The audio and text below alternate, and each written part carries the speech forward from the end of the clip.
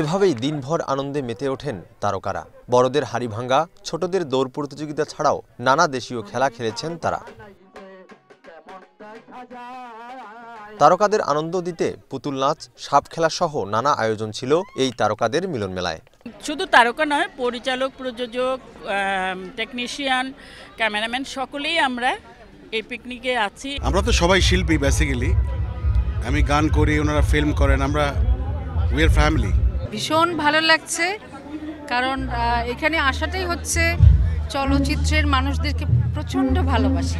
আমি তারকাদের মিলন মেলা করলাম তার পাশাপাশি অন্য লোকজন অনেক বেশি চলে আসলো আমি সেটার পক্ষপাতী না। ভালো তো আসলে কোনো শেষ নেই ভালো এটা ভালো হয়েছে আমরা ফিউচার আরও ভালো করার চেষ্টা করব। বহুদিন পর নবীন প্রবীণ অভিনেতারা মিলিত হয়ে মনের নানা আবেগ প্রকাশ করার সুযোগ পেয়েছেন বলে জানান তারা। কত কতদিন আপনাদেরকে দেখি না? এই আজকের এই পিকনিকের উপলক্ষে আবার দেখা হয়েছে। আজকের এই পিকনিকে চলুন আমরা সবাই মিলে একবার রাজ্জাক ভাইকে স্মরণ করি। আজকের মতো অনুষ্ঠান যদি প্রায়ই মাঝে মাঝে হতো হতে পারত তাহলে হয়তো অনেক ভালো হতো। আর বাকি জীবন যে কদিন বেঁচে থাকব ফিল্ম নিয়েই থাকব আপনারা আমার জন্য দোয়া করবেন। আরও অনেক মিডিয়া আছে।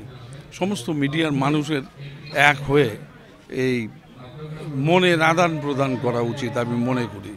মিলন মেলা অনুষ্ঠানে এশিয়ান টেলিভিশনের চেয়ারম্যান আলহাজ হারুনুর রশিদ সহ গুণীজনদের সম্মাননা প্রদান করা হয়। এর আগে তারকাদের উদ্দেশ্যে বক্তব্য রাখেন এশিয়ান টেলিভিশনের চেয়ারম্যান। বলেন, দেশীয় সংস্কৃতির উন্নতির মাধ্যমে আকাশ সংস্কৃতির আগ্রাসনকে রুখতে হবে।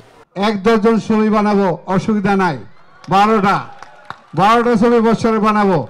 যদি আপনারা ওয়াদা দেন, ভারতের মতো ছবি বানাইতে পারি। তারা যদি পারে, আমরা পারব না কেন? সরকারের সাথে লড়াই করা। কীভাবে এই দেশের কোনো লোক ভারতের ছবিতে না দেশে এরকম আইন করতে হবে।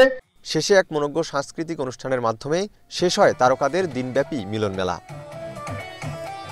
Fakhrul Shahin, Asian television, Gazipur.